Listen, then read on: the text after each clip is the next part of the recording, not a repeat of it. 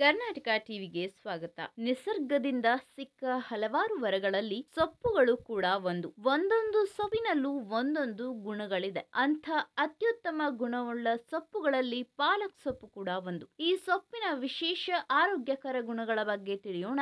ಆದರೆ ಅದಕ್ಕೂ ಮೊದಲು ನೀವಿನ್ನು ನಮ್ಮ ಚಾನೆಲ್ನ ಸಬ್ಸ್ಕ್ರೈಬ್ ಮಾಡದಿದ್ದಲ್ಲಿ ಬೇಗ ಸಬ್ಸ್ಕ್ರೈಬ್ ಆಗಿ ಪಕ್ಕದಲ್ಲಿರುವ ಬೆಲ್ ಐಕಾನ್ ಪ್ರೆಸ್ ಮಾಡಿ. ಪಾಲಕ್ ಸೊಪ್ಪನ್ನ ಗರ್ಭಿಣಿಯರಿಗೆ ತಿನ್ನಲು ಹೇಳಲಾಗುತ್ತೆ. ಸೂಪ್, ಪಲ್ಯ ಸಾರು, ಸಾಂಬಾರ್, ಪುಲಾವ್ ಇತ್ಯಾದಿ ಮಾಡಿ ತಿನ್ನಲು ಹೇಳ್ತಾರೆ. ಯಾಕಂದ್ರೆ ಪಾಲಕ್ ಸೊಪ್ಪು ಸೇವಿಸೋದ್ರಿಂದ ದೇಹದಲ್ಲಿ ಹಿಮೋಗ್ಲೋಬಿನ್ ಪ್ರಮಾಣ ಹೆಚ್ಚಾಗುತ್ತದೆ. ಬೆಳೆಯುವ ಮಗುವಿಗೂ ಇದು ಒಳ್ಳೆಯದು. ವಿಟಮಿನ್ ಎ ಮತ್ತು ಐರನ್ನಿಂದ ಭರಪೂರವಾಗಿರುವ ಪಾಲಕ್ ಸೊಪ್ಪು ತಿನ್ನುವುದರಿಂದ ದೇಹಕ್ಕೆ ಕಬ್ಬಿಣಾಂಶ ಸಿಗುತ್ತದೆ. ದೇಹದಲ್ಲಿ ಕಬ್ಬಿಣಾಂಶ ಹೆಚ್ಚಾಗುವುದೆಂದರೆ ಹಿಮೋಗ್ಲೋಬಿನ್ ಹೆಚ್ಚಾಗುತ್ತದೆ ಎಂದರ್ಥ. ಅಲ್ಲದೆ ನಿಮ್ಮ ದೇಹದಲ್ಲಿ ರಕ್ತದ ಪ್ರಮಾಣ ಹೆಚ್ಚಾಗುತ್ತದೆ.